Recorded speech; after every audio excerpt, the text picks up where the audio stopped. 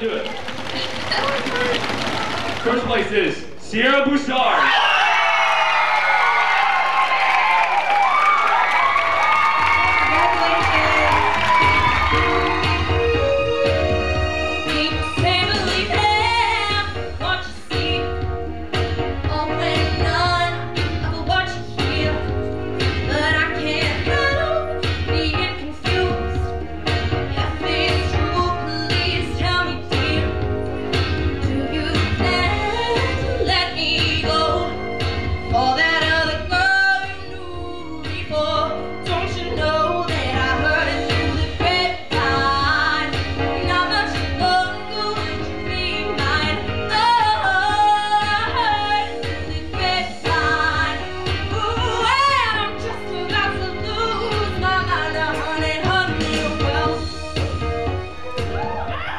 Good morning, Mundelein High School. I'm Jake. And I'm Kimmy. That opening was this year's variety show winner, Sierra Bouchard. We know it's been a while since Sierra won, but this was the first chance we got to showcase her act. DVDs are still available of the show, and see Mr. Meister if you are interested. Stay tuned to Future Friday Focus for a peek at a couple of other acts. Attention athletes. Anyone interested in playing baseball this spring, there will be an informational meeting Tuesday, December 12th at 3.30 in the auditorium.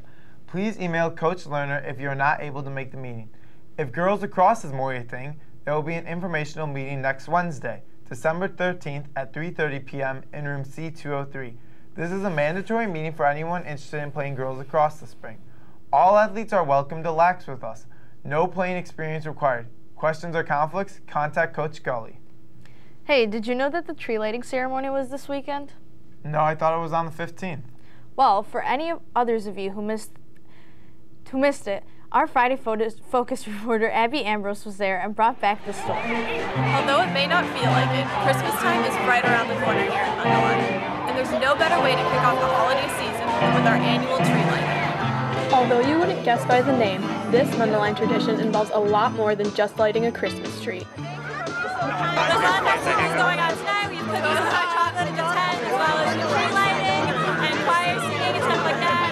The event is a Mundelein classic, with hundreds of community members attending every year. I decided to come here because I come here every year. It just shows me what the holiday season is about, which is coming together and celebrating. The tree lighting ceremony also serves as a great opportunity for those looking to help out their town.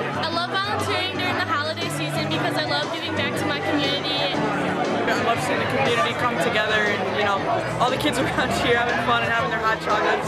Really special experience for me. Hopefully you learned a little bit more about this Mundelein tradition. And if you didn't end up going, we hope to see you there next year.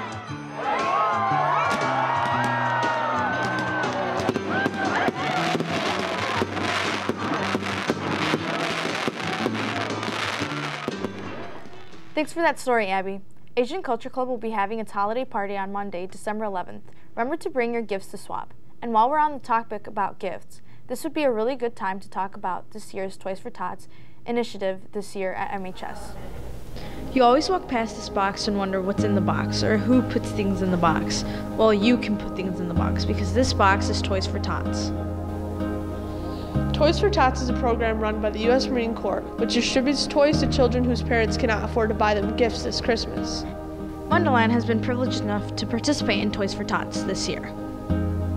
Students, teachers, and families can donate to Toys for Tots here at MHS.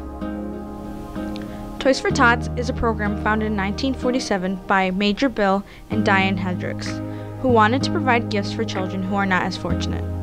One year later, it became a nationwide program. The first year, they collected 7,000 toys, to last year, where they collected over 16 million. And it only continues to grow. Here at Mundelein, Toys for Tots is organized by Mr. Buck, and we got a chance to talk to him.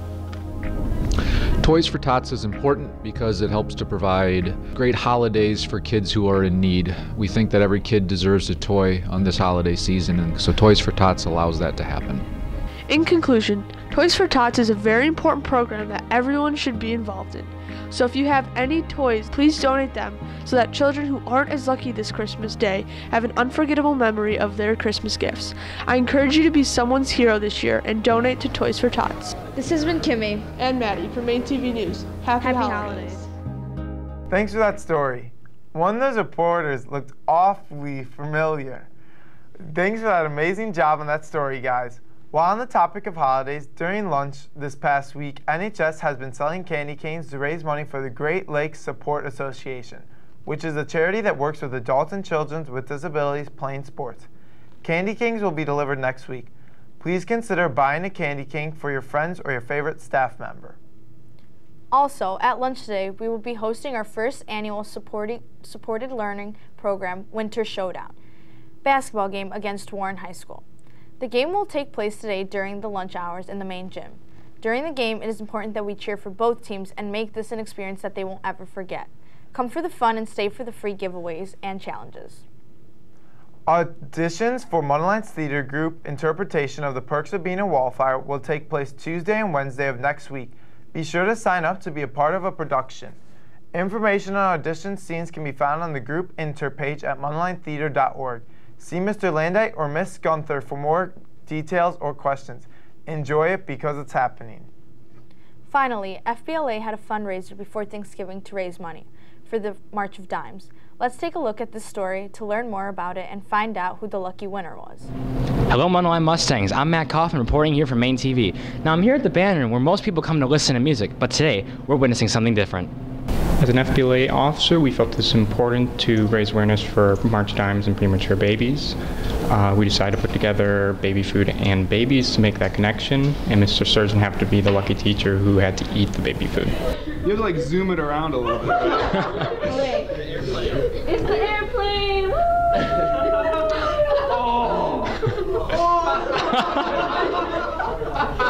Yikes.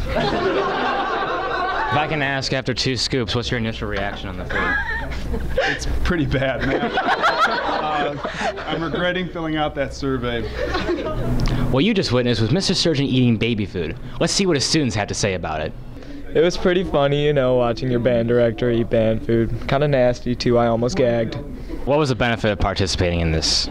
Oh, it was a great, uh, great event for the school. Not for me in the end, but uh, great. And you raise money for the March of Dimes, which is awesome. Something the marching band does at the beginning of the year, so it's good to also contribute in this time. While the food had a terrible taste, the event had a wonderful outcome. That's all for now, Mustangs. Have a great day.